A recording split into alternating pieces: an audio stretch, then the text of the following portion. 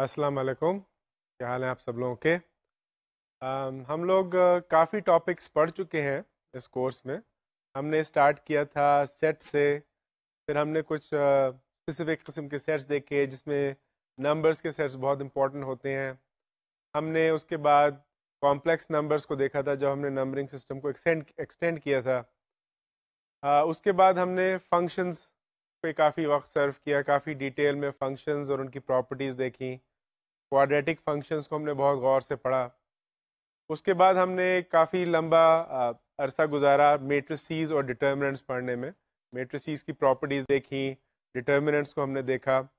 और उसके बाद हमने एक टॉपिक पढ़ा था सीक्वेंसेस एंड सीरीज़ का, जिसमें हमने अरिथमेटिक सीरीज़ जो arithmetic sequence geometric series geometric sequence ये सब पढ़े।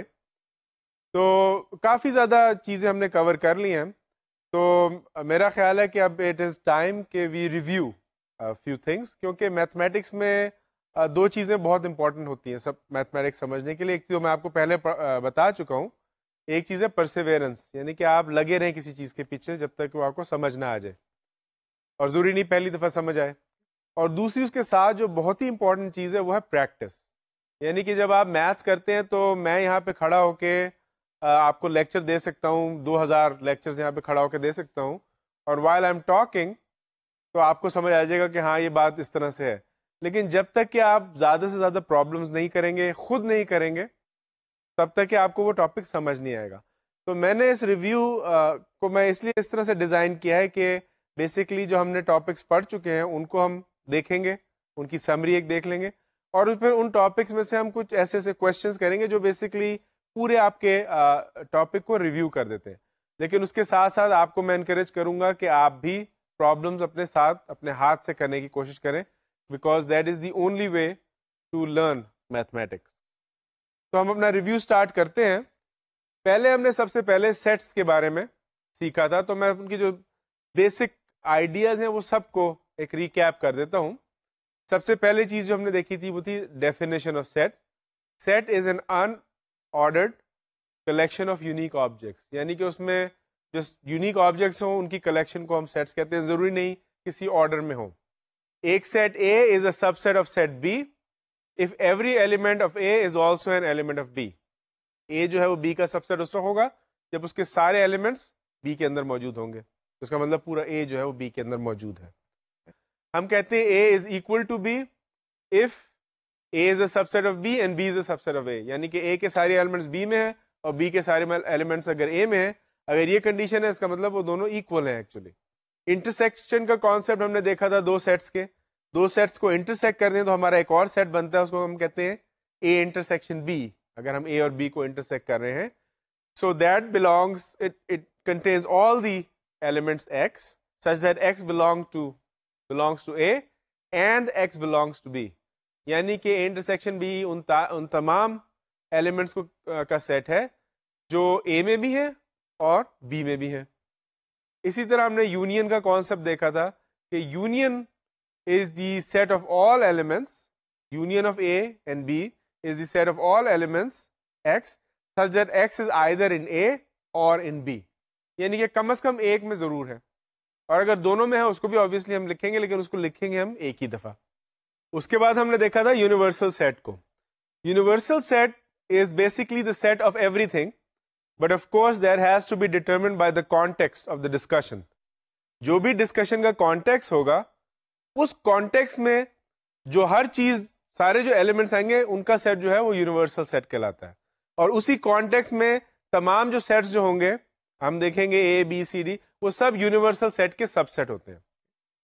उसके बाद एक और कॉन्सेप्ट हमने देखा था एम सेट एम सेट उसको डिनोट करते हैं फाइ से। तो जब भी आप कहीं फाइ लिखा देखेंगे, वो एम सेट डिनोट करता है। That is it is the subset of everything इसमें कुछ भी नहीं होता है सेट के अंदर। तो इन अ गिवन कॉन्टेक्स्ट हमने देखा था कि every set is the subset of the universal set and phi is the subset of every set तो ये कुछ हमने चीज़ें देखी थी सेट्स के बारे में। उसके बाद हमने वेन डायग्राम्स को स्टडी किया था। कि वेन डायग्राम जो है वो आपको जैसे याद होगा, हम सर्कल बना के एक सेट को डिनोट कर लेते थे। उनसे हम जो मुख्तलिफ़ ऑपरेशन सेट्स के इंटरसेक्शन हो गया यूनियन हो गया, उनको हम इजीली विजुअली देख सकते हैं। ए इंटरसेक्शन भी जैसे कि आपको याद होगा, देखा था, दो सर्कल्स बनाए तो उनमें जो कॉमन चीज़ थी उसको इंटरसेक्शन कहते हैं। इसी तरह हमने यूनियन भी देख लिया था। उसके बाद हमने देखा था कि जो प्रॉपर्टीज़ हैं यूनियन और इंटरसेक्शन की वो कम्यूटेटिव भी हैं और एसोसिएटिव भी हैं। क्या मतलब? यानी कि अगर आपके तीन सेट्स हों और आप ए इंटरसेक्शन बी और इंटरसेक्शन सी उन तीनों का इंटरसेक्शन लेना चाह रहे हो आपस में तो इट डजेंट मैटर कि आप पहले ए और बी का इंटरसेक्शन ले लें और जो रिज़ल्ट आएगा, उसको आप सी से इंटरसेक्शन ले लें। उसका जवाब वही आएगा अगर आप पहले बी और सी का इंटरसेक्शन ले लेते और उसका फिर ए से इंटरसेक्शन लेते। जवाब भी आएगा। इसको कहते हैं एसोसिएटिव प्रॉपर्टी इसी तरह कम्यूटेटिव प्रॉपर्टी इंटरसेक्शन की A intersection B is the same as B intersection A इसी तरह बिल्कुल एग्जैक्टली exactly यूनियन में भी कम्यूटेटिव एंड एसोसिएटिव प्रॉपर्टीज़ जो है, वो वैलिड होती हैं। उसके बाद हमने देख लिए थे डिस्ट्रीब्यूटिव लॉ डिस्ट्रीब्यूटिव लॉ में हम तीन सेट्स को देखते हैं कम अज कम, तीन सेट्स आ गए लेकिन उसमें हम दोनों ऑपरेशन इंटरसेक्शन और यूनियन दोनों को देख लेते हैं। यानी कि A intersection B union C एक ही आ गया कि इंटरसेक्शन बाहर है और अंदर बी और सी का यूनियन हो रहा है। तो इसका आंसर क्या आएगा? There is the same as the intersection of A is being distributed to both the inside sets तो there will be A intersection B union A intersection C इन दोनों का आंसर एक ही आएगा। इसी तरह यूनियन और इंटरसेक्शन का जो अगर आप इनके रोल स्विच कर दें, उसका भी एक डिस्ट्रीब्यूटिव लॉ आता है विच इज़ ए यूनियन और आप बी इंटरसेक्शन सी का उसके साथ यूनियन लेंगे। तो जो एक और यूनियन है वो डिस्ट्रीब्यूट हो जाएगा अंदर। तो will be A union B intersection A union C इसके बाद हमने ये तो बेसिकली सेट्स के कुछ हमने कॉन्सेप्ट देखे थे। उसके बाद हमने कुछ स्पेसिफिक सेट्स जिनका मैथमेटिक्स में बहुत इस्तेमाल होता है, उनको हमने देखा था नंबरिंग सिस्टम्स को। तो नंबरिंग सिस्टम में हमने सबसे पहले स्टार्ट किया था नेचुरल नंबर्स से which are counting numbers one two three four five and so on फिर हमने इंटीजर्स को देखा। जो नेचुरल नंबर्स हैं प्लस ज़ीरो और उनकी नेचुरल नंबर्स की एक नेगेटिव कॉपी तो वो इंटीजर्स कहलाते हैं। उसके बाद हमने रैशनल नंबर्स देखे थे जो फ्रैक्शंस होते हैं। One number over another number और फाइनली हमने एक रियल uh, नंबर का सेट देखा था which is the union of rational as well as irrational numbers irrational numbers वो नंबर्स होते हैं जो आप फ्रैक्शन के तौर पे नहीं लिख सकते। हमने ये देखा था कि जिस तरह से नंबरिंग सिस्टम कंस्ट्रक्ट हुआ था उसमें से set of natural numbers is a subset of the set of integers natural numbers are represented by N integers are represented by z which is a set of subset of the rational numbers which are represented by q and that is a subset of the real numbers which is represented by r हमने sets की cardinality के बारे में भी देखा था कि किसी सेट की कार्डिनैलिटी क्या होती है there is the number of elements in that set उसको रिप्रेजेंट कैसे करते हैं? अगर आपका सेट ए है, उसके गिर्द आप दो बार्स बना दें तो A bar represents the number of elements in the set A which is the cardinality of A और हमने देखा था कि इन्फिनिट कार्डिनैलिटी भी होती है, जैसे कि ऊपर सारे सेट्स अभी देखे real numbers rational numbers integers natural numbers they all have cardinality infinite but उनकी कार्डिनैलिटी में भी इन्फिनिटी में भी फ़र्क है, वो हमने देखा था कि काफ़ी इंटरेस्टिंग कॉन्सेप्ट था कि चीज़ें इन्फिनिट है, लेकिन एक बड़ी इन्फिनिटी एक छोटी इन्फिनिटी है। There is an interesting concept to think about अब हम सेट्स के कुछ एग्जाम्पल्स कर लेते हैं। इसमें हम बैठ के देखेंगे कि एग्जाम्पल्स को हाथ से कैसे करना है, उसमें हम मुख्तलिफ़ कॉन्सेप्ट यूज़ करेंगे। तो पहला एग्ज़ाम्पल है, उसमें हमको दिया हुआ है कि हमको सेट्स दिए हुए ए एंड बी तो A is the set of all x such that x is greater than two तो ये सारे नंबर जो हैं, जो टू से ग्रेटर हैं। उसके बाद हमको सेट दिया हुआ है B which is x such that x is less than equal to six ये वो सारे नंबर हैं जो छः से नीचे हैं। हमको ए इंटरसेक्शन बी और ए यूनियन बी मालूम करना है। And we need to represent them on this on the real line तो उसको भी हम देख लेते हैं कि कैसे करना है। A is the set of x such that x is greater than two तो आपके अगर रियल नंबर लाइन बन रही है तो इस रियल नंबर लाइन पे हमारा ज़ीरो है ऑब्वियसली एक जगह। सपोज़ ये हमारा ज़ीरो है, और वन आ गया टू आ गया। तो हमारा सेट ए जो है, वो it's all real number strictly greater than two तो उसको हम बेसिकली यहाँ पे इसके राइट साइड पे टू के राइट साइड पे और ऑब्वियसली उसमें टू जो है वो शामिल नहीं है तो उसको कभी कभी आप रिप्रेजेंट करते हैं ग्राफ पे एक, एक हल्का सा सर्कल बना के कि that point is not included क्योंकि अगर आप सेट ए की डेफिनेशन देखेंगे वो स्ट्रिक्टली ग्रेटर देन टू है. इसी तरह अगर आप सेट बी की डेफिनेशन देखेंगे तो there is x is less than और इक्वल टू सिक्स तो इसमें हम सिक्स को भी शामिल करेंगे. तो इसको अगर देख लें तो इसका क्या बनेगा? सपोज़ के ये हमारा टू था थ्री आ गया फोर फाइव एंड सिक्स तो इसके वो वैल्यूज़ होंगी जो सिक्स और उससे कम है। तो वो इसके लेफ़्ट साइड पे सारी चलती जाएँगी। तो ये रेड लाइन जो है रिप्रेजेंट कर रही है set A black line represent कर रही है सेट बी हमको पता करना है set A intersection B A intersection B में वो हिस्सा आ जाता है जो दोनों में कॉमन है। यानी कि टू के राइट साइड पे और सिक्स के लेफ़्ट साइड पे। So it is A intersection B is obviously x is greater than 2 so 2 is less than x, which is less than or equal to 6 इसमें आप देखिए, x स्ट्रिक्टली ग्रेटर देन 2 है और less than equal to 6 है। तो उनका जो दोनों का कॉम्बिनेशन है, यानी कि जो कॉमन एरिया है दोनों सेट्स में, ये a था हमारा और ये बी था।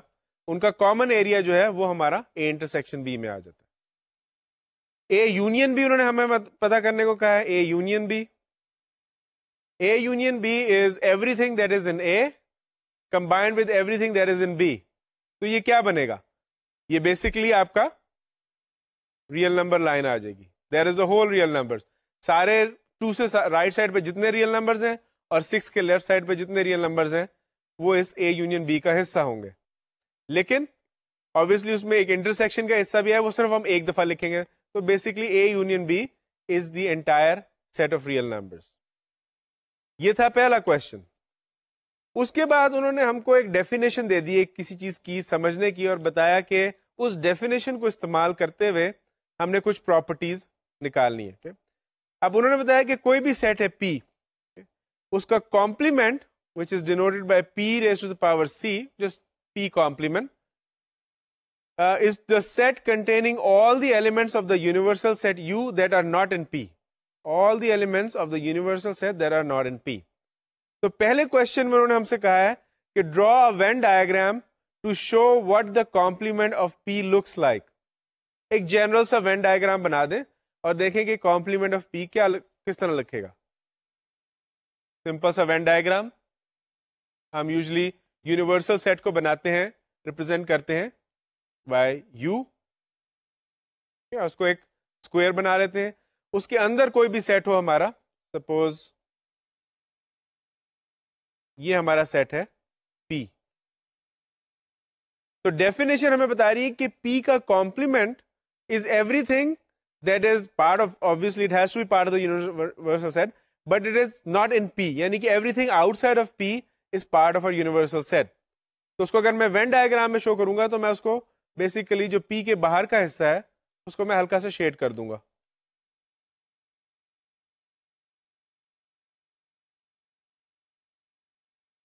इसमें बेसिकली ये नज़र आ रहा है कि this part is P complement यानी कि जो भी पी से बाहर का हिस्सा है वो पी कॉम्प्लीमेंट है।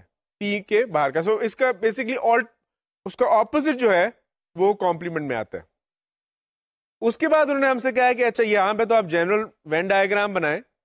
और फिर कहा है find the complements of A and B from part A जो पार्ट ए में उन्होंने हमें दो सेट दिए थे ए एंड बी उनके complement लिखाएँ and draw them on the number line तो कॉम्प्लीमेंट्स ए और बी के क्या हैं? देख लेते हैं।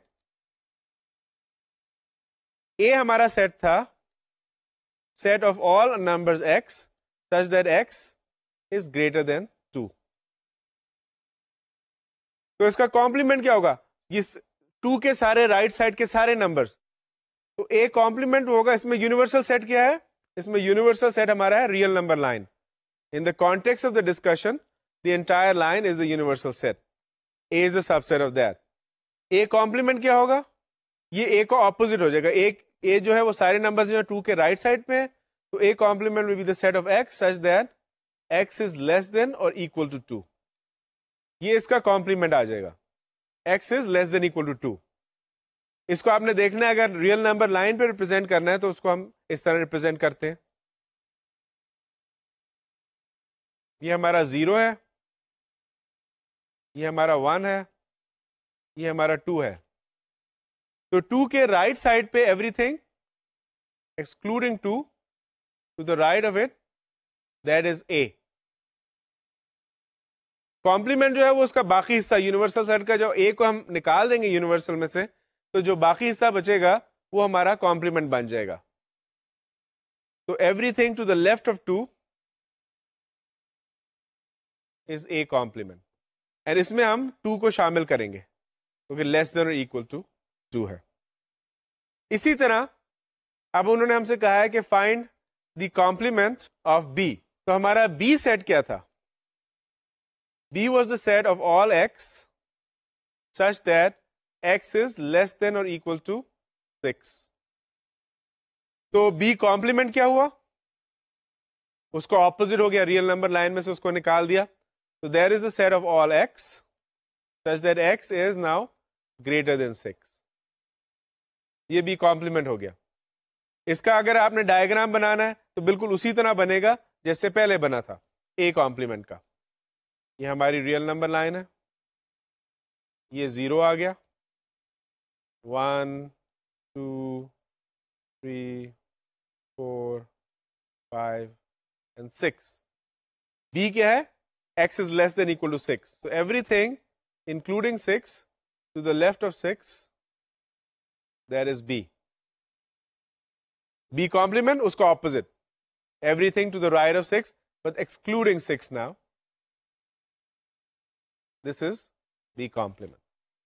तो इस तरह से आपने देखा कि हमने सेट की जो प्रॉपर्टीज़ है उसको इस्तेमाल करते हुए एक वेरी स्पेसिफिक प्रॉब्लम में हमने पता कर लिया कि बी क्या है ए क्या है, उनका इंटरसेक्शन क्या होगा यूनियन क्या होगा, उनके कॉम्प्लीमेंट्स क्या करेंगे कॉम्प्लीमेंट का भी आपने इस तरह से एक अक्सर क्वेश्चन में इस तरह से होता है क्योंकि बहुत वास्ट टॉपिक है सेट्स का, बहुत सारे टॉपिक्स तो सारी चीज़ आप एक कोर्स में कवर नहीं कर सकते, लेकिन अक्सर क्वेश्चन में अगर आप देखेंगे, अक्सर किताबों में तो वो किसी टॉपिक को, उसकी डेफिनेशन आपको बता के फेंकेंगे, उस डेफिनेशन को इस्तेमाल करते हुए और अपनी नॉलेज को इस्तेमाल करते हुए कोई प्रॉब्लम सॉल्व करें। जैसे कि इस क्वेश्चन में उन्होंने हमको कॉम्प्लीमेंट के बारे में बताया और फिर उसको इस्तेमाल करते हुए उन्होंने कहा कि अच्छा अब ये ए और बी जो हमने आपको दिए हुए, इनके कॉम्प्लीमेंट्स निकाले। तो ये एक हमने एक ओवरव्यू कर लिया सेट्स का। नेक्स्ट जो टॉपिक हमने कवर किया था, वो था कॉम्प्लेक्स नंबर्स का। ये अगर आपको याद होगा तो इसको हमने रियल नंबर से एक्सटेंड कैसे किया था और इसकी रीजन एक्सटेंशन की क्या थी?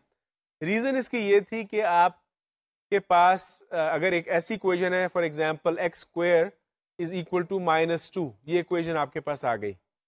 तो आपको एक्स की वैल्यू नहीं पता लग सकती थी, क्योंकि कोई रियल नंबर ऐसा नहीं है जिसको आप स्क्वेयर करेंगे तो आंसर माइनस टू आएगा। तो उसके लिए एक इमेजिनरी नंबर हमने ईजाद किया था iota which was equal to square root of minus one और उसको जब हमने इमेज इन्वेंट किया तो उससे हमको पूरी इस किस्म की इक्वेशंस जो हैं, वो सॉल्व करने का एक तरीका मिल गया। उसको फिर हमने अपना जो नंबरिंग सिस्टम था, जो पहले सिर्फ़ रियल नंबर्स थे, उसको हमने एक्सटेंड किया इस तरह कि हमने उसी रियल नंबर्स की हर नंबर के साथ आयोटा की कॉपी अटैच की हमने कहा, वो कॉपी को हम कहेंगे इमेजिनरी नंबर्स उन इमेजिनरी नंबर्स को और रियल नंबर्स को मिलाकर हमने कॉम्प्लेक्स नंबर्स का पूरा बड़ा सारा सेट बनाया था। और वो actually real numbers is a subset of the complex numbers तो हमने देखा था कि एनी कॉम्प्लेक्स नंबर उसकी जो स्टैंडर्ड रिप्रेजेंटेशन है that is written as a plus b times i i is for iota which is equal to square root of minus one a को हम कहते हैं रियल पार्ट और बी को हम कहते हैं इमेजिनरी पार्ट तो किसी भी कॉम्प्लेक्स नंबर की यही शक्ल होगी।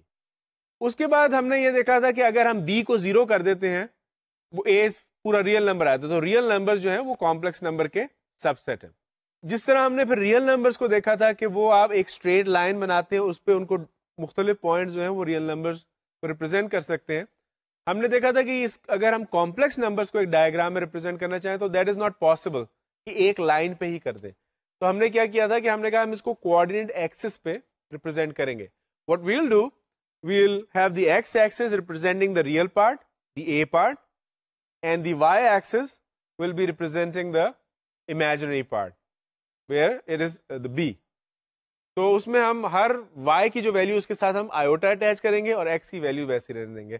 इसमें हमें एडवांटेज ये हो गया था कि अगर हमें कोई भी रियल नंबर है ए बी उसको हम कोऑर्डिनेट एक्सिस पे प्लॉट कर सकते हैं where a represents the x axis and b represents the y axis the imaginary part उस तरह से हम कॉम्प्लेक्स नंबर्स को रिप्रेजेंट कर सकते हैं।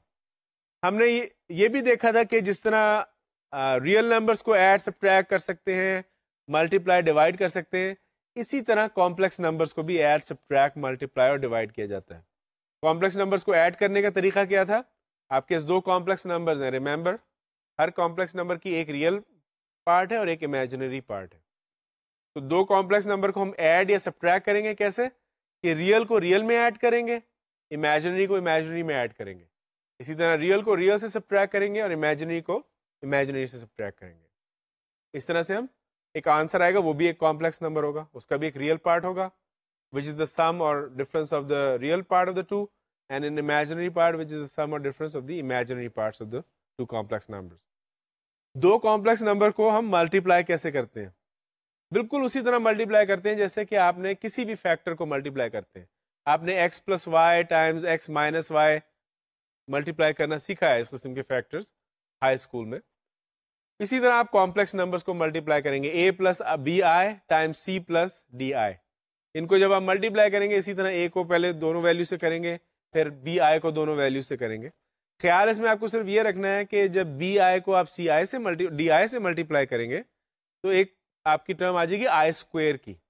I square is equal to minus one तो उसको आपने रिप्लेस करना है माइनस वन से। और तो बेसिकली बी डी का जो साइन है, वो माइनस हो जाएगा। इसी तरह जैसे कि हमने देखा था कि कॉम्प्लेक्स नंबर्स को डिवाइड करना का तरीका क्या है। तो डिवाइड करने के लिए हमको एक और थोड़ी सी स्ट्रेटेजी इस्तेमाल करनी पड़ी थी, अगर आपको याद हो।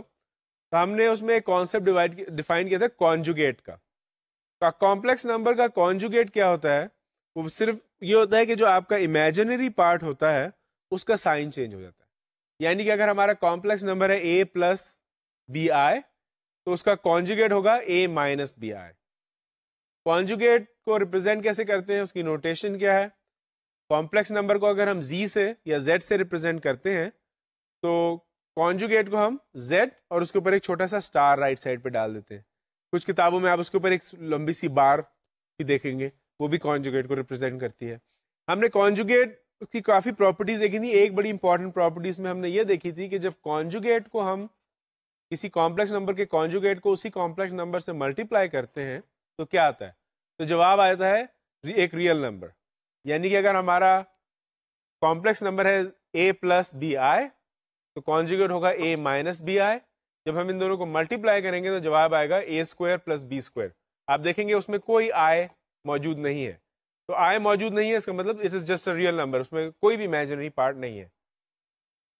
अब इस प्रॉपर्टी को हम इस्तेमाल करते हुए डिवीज़न कर सकते हैं कॉम्प्लेक्स नंबर्स की। कि एक कॉम्प्लेक्स नंबर को दूसरे से डिवाइड करने का क्या तरीका है?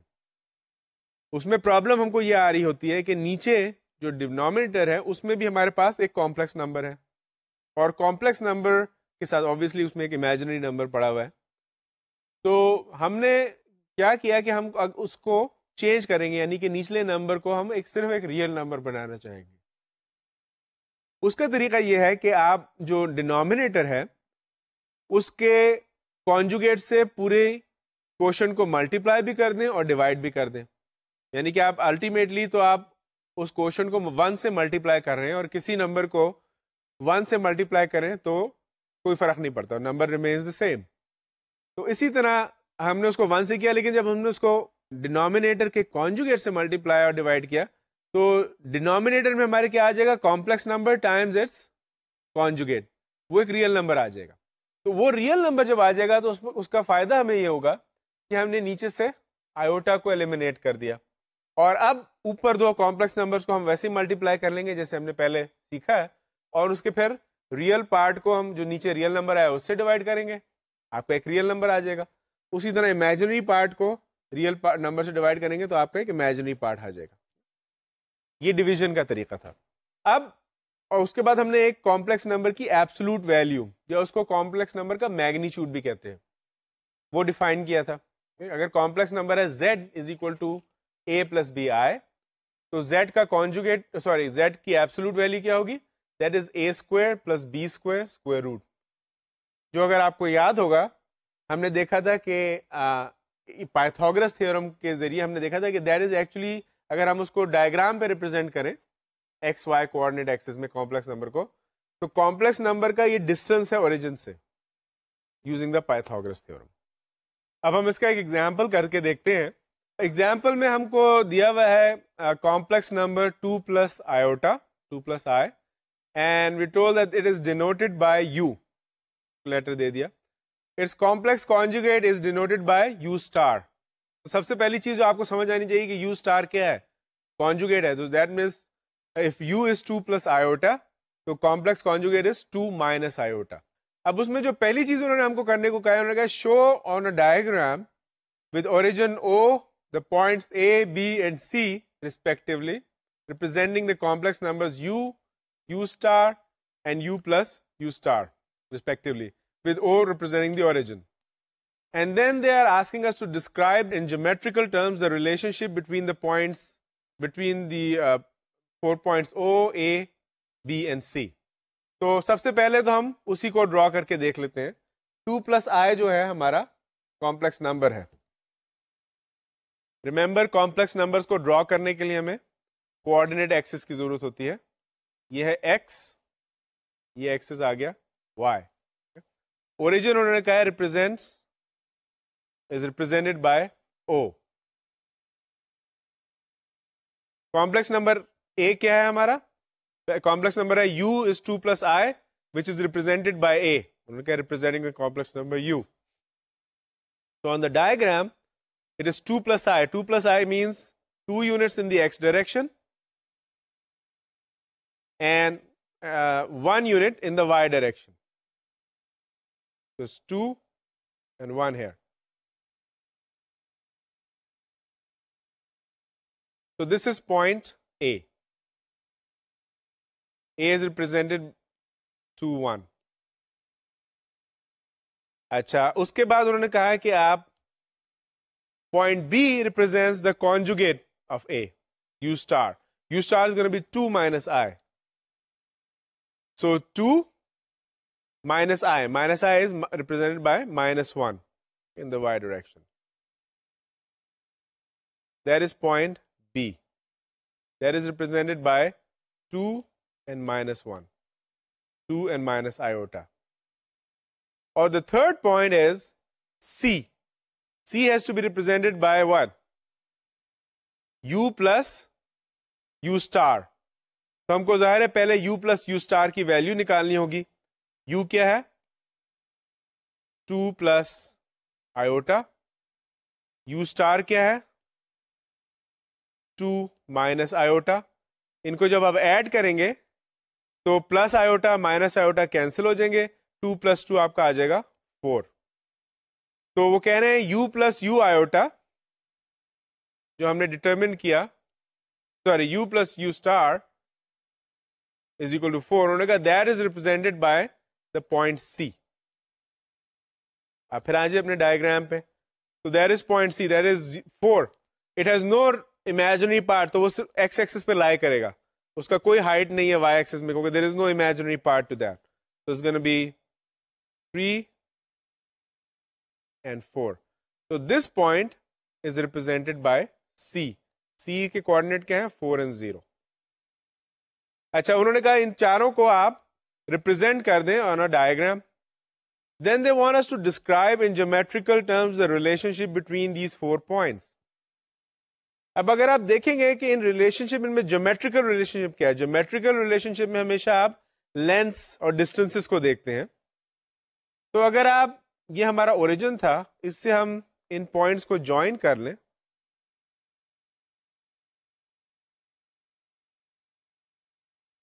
तो आप देखेंगे कि ये एक पैरेललोग्राम बन जाएगा।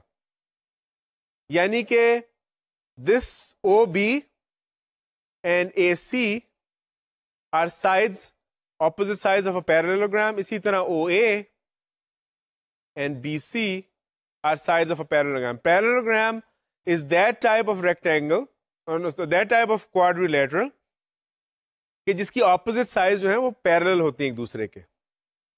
ये again something जो हम सबने स्कूल में पढ़ी होती है।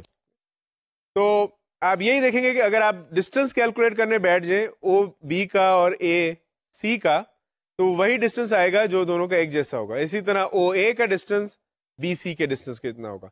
लेकिन आपको ऑब्वियसली इसमें डिस्टेंसेस कैलकुलेट नहीं करने अगर ये आप ग्राफ पेपर पे बनाएँगे तो बड़ी क्लियरली आपको पिक्चर नज़र आएगी कि ये एक पैरेललोग्राम बन रहा है। तो ये ज्योमेट्रिकल रिलेशनशिप है उन दोनों की।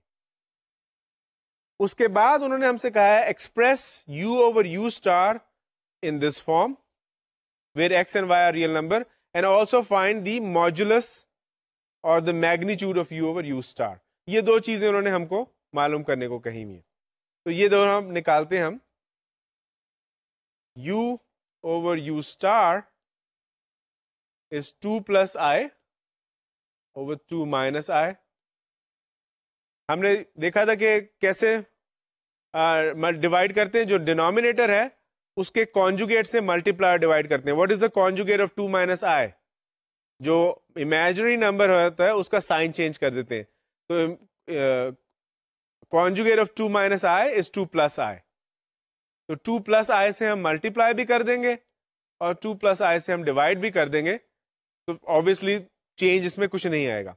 फ़ायदा उसका हमें ये होगा कि ऊपर तो हमें टू प्लस आई स्क्वायर आ गया। नीचे हमें क्या आ जाएगा, जब हम कॉम्प्लेक्स नंबर को उसके कॉन्जुगेट से मल्टीप्लाई करते हैं तो क्या आता है? अगर a plus iota b and a minus iota b को मल्टीप्लाई करेंगे तो जवाब आएगा a square plus b square इसमें a क्या है? टू बी क्या है इसमें वन तो हमारे पास आ जाएगा two square plus one square अगर आपको ये याद नहीं तो आप इन दोनों को मल्टीप्लाई कर लें, जैसे आप फैक्टर्स को मल्टीप्लाई करते हैं तो यही जवाब आएगा। ऊपर हम a plus b whole square का फॉर्मूला लगा देते हैं। A square plus b square plus two a b नीचे आपके आ गया four plus one which is equal to four two square is four iota square क्या आएगा? Minus one plus two times two times iota is four iota divided by 5 which is equal to 4 minus 1 is 3 3 over 5 plus 4 over 5 iota ये हमारा एक standard form में complex number आ गया। Complex number की standard form क्या है? A real number plus an imaginary number बिल्कुल हमारी उस फॉर्म में आ गया। Three over five plus four over five iota. That is the first thing they ask us to do उसके बाद उन्होंने हमसे क्या करने को कहा है? उन्होंने कहा है कि हम u ओवर u स्टार का मॉड्यूलस या एब्सोलूट वैल्यू निकालें। तो रिमेंबर हमारा u ओवर u स्टार क्या आ गया था? That was three over five plus four over five iota अब इसका मॉड्यूलस निकालना है। मॉड्यूलस की मैंने आपको फॉर्मूला बताया था, अगर आपके पास कॉम्प्लेक्स नंबर है ए प्लस बी आयोटा ये आपका कॉम्प्लेक्स नंबर है अगर। तो कॉम्प्लेक्स नंबर का मॉड्यूलस क्या आएगा? There is a square plus b square square root ये उसका मॉड्यूलस आ जाएगा। तो इसमें हमारा ए जो है वो ये है थ्री ओवर फाइव बी है फोर ओवर फाइव तो इसका मॉड्यूलस क्या आ जाएगा? There be three over five squared plus 4 over 5 squared square root, which is equal to 3 over 5 square is what? What is the square of 3? That is 9 and square of 5 is 25. So that is 9 over 25 plus square of 4, 4 is 16. 16 and the square of 25 is 25. अब आप LCM लेंगे 25 9 plus 16 is 25 so it is 25 over 25 square root which is equal to 1 तो इसका answer जो है u over u star modulus जो है, वो आता है वन तो इस क्वेश्चन में आपने देखा कि हमने बहुत सारे कॉन्सेप्ट्स को इस्तेमाल किया कॉम्प्लेक्स नंबर्स के। हमने उसके कॉन्जुगेट को इस्तेमाल किया। कॉन्जुगेट क्या होता है? हमने देखा कि उनको डायग्राम कैसे करते हैं। फिर डायग्राम पे हमने उसकी एक इंटरप्रिटेशन देखी कि क्या होता क्या अगर कॉन्जुगेट को हम मैप कर दें और उनको ऐड कर दें तो क्या एक पैरेललोग्राम बन जाता है। उसके बाद हमने डिवीज़न की कॉम्प्लेक्स नंबर्स की, उसमें ऑब्वियसली डिवीज़न का टॉपिक आया कॉन्जुगेट आया मल्टीप्लिकेशन की टेक्निक्स आई। और फाइनली हमने उसको एक, उसका मॉड्यूलस निकाला तो मॉड्यूलस का जो पाइथागोरस थ्योरम से हमने फॉर्मूला निकाला था, उसको इस्तेमाल किया। एक क्वेश्चन और करते हैं इक्वेशंस की फॉर्म में। इसमें आपको एक इक्वेशन दी हुई है क्यूबिक इक्वेशन है। Two x cube plus x square plus twenty five is equal to zero अब क्यूबिक इक्वेशन के तीन सॉल्यूशंस होते हैं एट द मोस्ट उसमें हमको बता दिया उन्होंने ऑलरेडी कि उसका जो आ, एक रियल सोल्यूशन आएगा इस इक्वेशन का और उसके दो कॉम्प्लेक्स सोल्यूशन आएँगे। उन्होंने कहा उन्होंने हमको सोल्यूशंस दे दिए उन्होंने कहा one plus two iota and one minus two iota आपको वेरीफाई करना है कि these are the two complex solution कैसे वेरीफाई करेंगे कि ये नंबर जो है, ये उस इक्वेशंस के सोल्यूशन हैं। वेरीफाई आप इस तरह करते हैं किसी भी सोल्यूशन को कि जो वैल्यू होती है उसकी, उसको जहाँ जहाँ एक्स आ रहा है, जहाँ जहाँ वेरिएबल आ रहा है, उसमें आप उस वैल्यू को डाल देते हैं। उस वैल्यू को जब आप उसमें डाल देते हैं तो उसके बाद देखते हैं कि इक्वेशन की दोनों साइड्स बराबर आनी चाहिए। यानी कि इस इक्वेशन के राइट साइड पे ज़ीरो है। अगर हम वन प्लस टू आयोटा और वन माइनस टू आयोटा को एक्स की जगह डालेंगे तो लेफ़्ट साइड पे भी ज़ीरो आना चाहिए। तो वो हम देख लेते हैं कि अब कैसे आता है। अब उसमें आप देखें कि हमको लेफ़्ट एक्स की क्या वैल्यूज़ चाहिए? हमको क्यूब चाहिए। तो वन प्लस टू आयोटा और वन माइनस टू आयोटा का क्यूब भी चाहिए होगा और स्क्वेयर भी चाहिए होगा। तो वो हम पहले निकालेंगे। तो हम शुरू करते हैं उसको देखना। तो पहले हम देखेंगे वन प्लस टू आयोटा को। इसको पहले हम स्क्वायर कर लेंगे देखते हैं वो क्या नंबर आता है। ये हम a plus b whole square के फॉर्मूले से उसको निकालेंगे। That is a square plus b square plus two a b which is equal to one plus two का स्क्वायर फोर आ गया और आयोटा का स्क्वायर इज़ माइनस वन तो इस minus four plus two times two iota is four iota तो आपका जगह one plus minus four is one minus four which is one minus three which is sorry minus three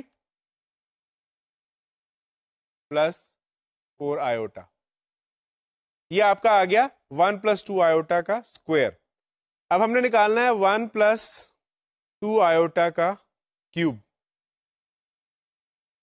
तो that is equal to 1 plus 2 iota times 1 plus 2 iota squared. 1 plus 2 iota square हम already निकाल चुके हैं minus three plus four iota उसको हम 1 plus two iota से multiply करेंगे।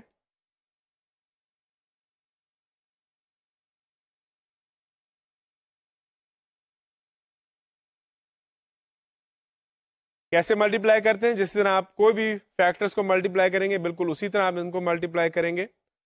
इनको आप लिखेंगे one times minus three is minus three, one times four iota is plus four iota, two iota times minus three is minus six iota and 2 iota times 4 iota is 2 times 4 is 8 iota times iota is iota square so is minus 8 ये आपका क्या बन जाएगा? Minus three minus eight is minus eleven and four iota minus six iota is minus two iota अब आपके पास one plus two iota square की value भी आ गई one plus two iota cube की वैल्यू भी आ गई।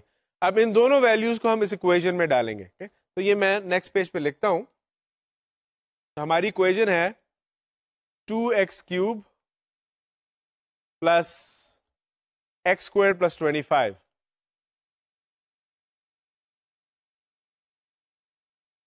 equal to zero इसमें हमारा one plus two iota square की वैल्यू क्या आ गई थी?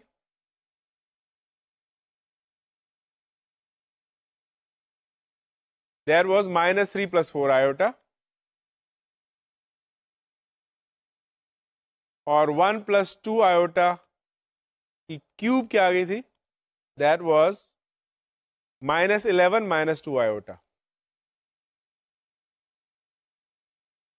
अब जहाँ जहाँ x की वैल्यू है, वहाँ वहाँ हम उनकी वैल्यूज़ डाल देंगे। तो x की जगह हमें टू एक्स क्यूब चाहिए so it is two one plus two iota cube तो हम इसको डालेंगे two times one plus two iota cube left side पे plus one plus two iota square plus twenty five.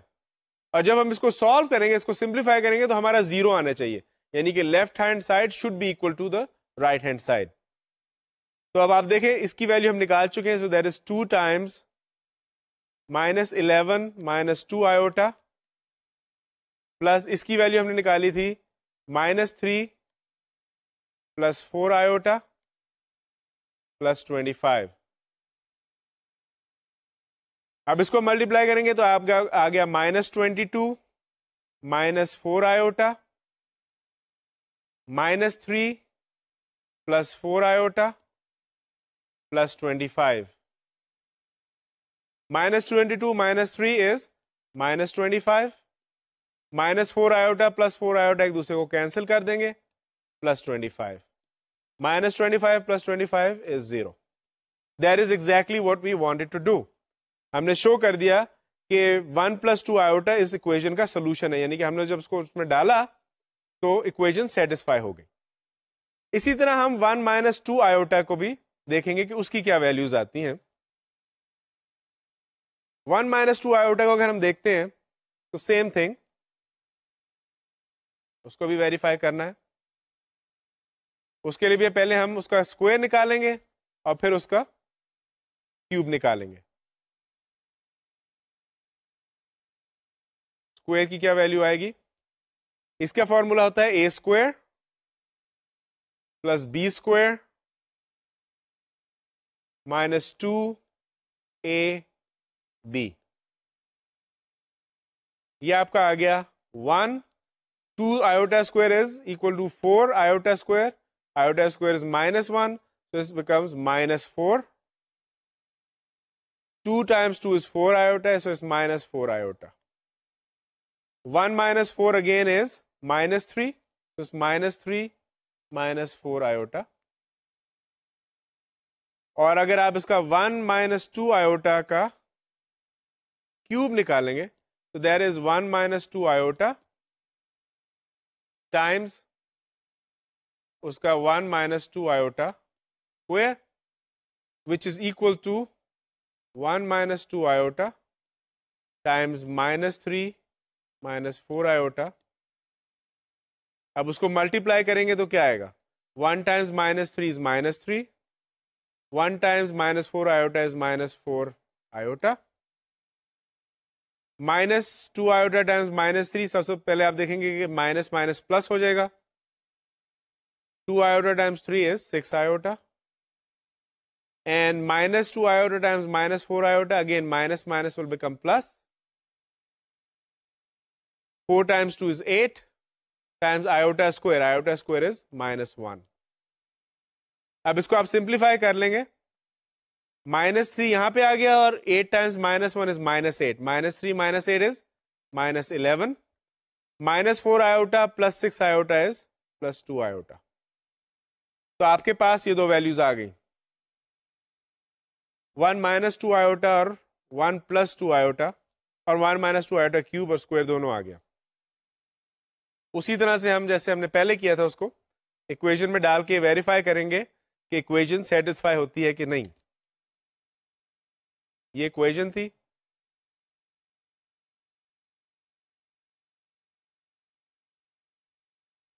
हमारी वन माइनस टू आयोटा की value आई थी। Minus three minus four iota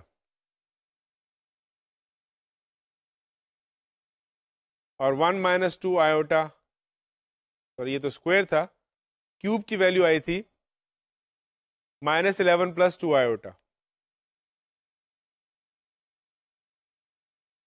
तो अब हम इनको इस इक्वेशन में डाल देंगे। So it is two times one minus two iota cube is minus eleven plus two iota plus x square x square की वैल्यू हम यहाँ पे one minus two iota square की वैल्यू डालेंगे।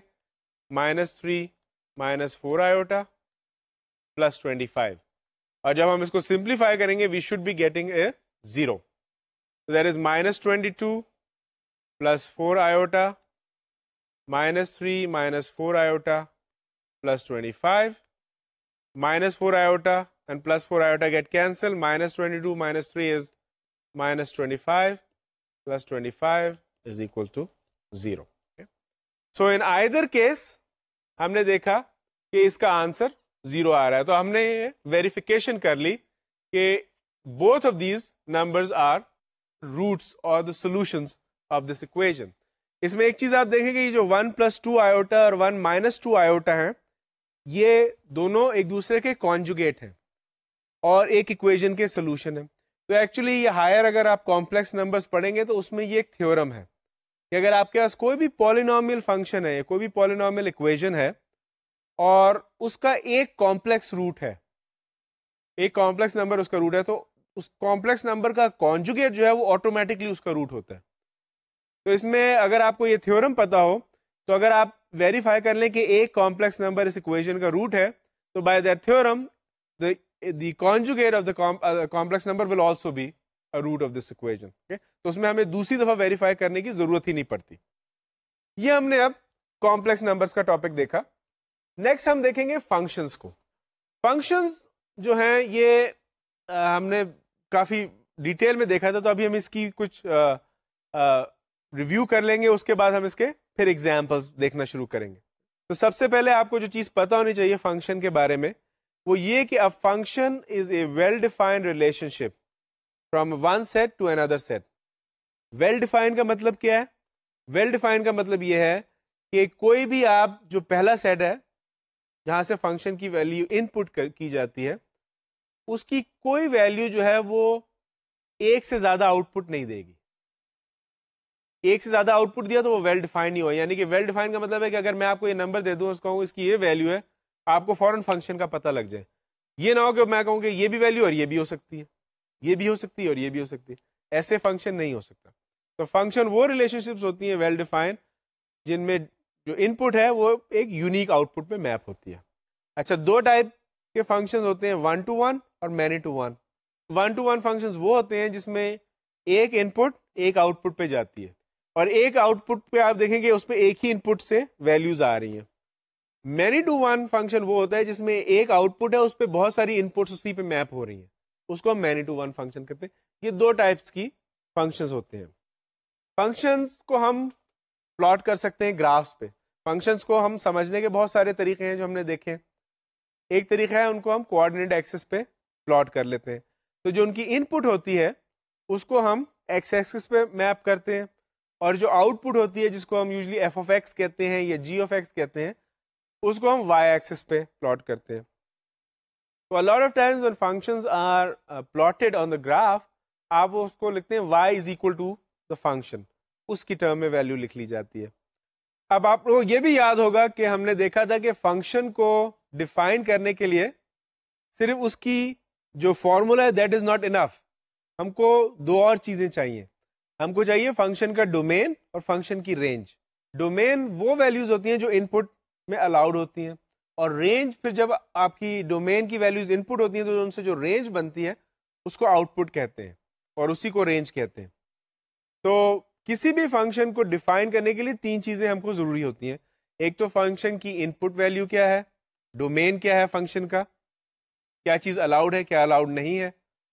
उसके बाद जब हम डोमेन डालते हैं तो हम फिगर आउट करते हैं उसकी रेंज क्या होगी, कितनी आउटपुट वैल्यूज़ कहाँ तक जा सकती हैं। रेंज भी हमको इंपॉर्टेंट है उसके लिए, जानने के लिए। और फिर फाइनली ऑब्वियसली तो फ़ंक्शन की जो रिलेशनशिप है जिसको हम फॉर्मूला कहते हैं वो भी बहुत इंपॉर्टेंट है। उसको हम कैसे आ, लिख सकते हैं तो ये तीन चीज़ें जो हैं ये फ़ंक्शन को डिफाइन करती हैं। हम फ़ंक्शन को कंटिन्यू करेंगे इसी की रिव्यू को नेक्स्ट टाइम तो for now will conclude this lecture thank you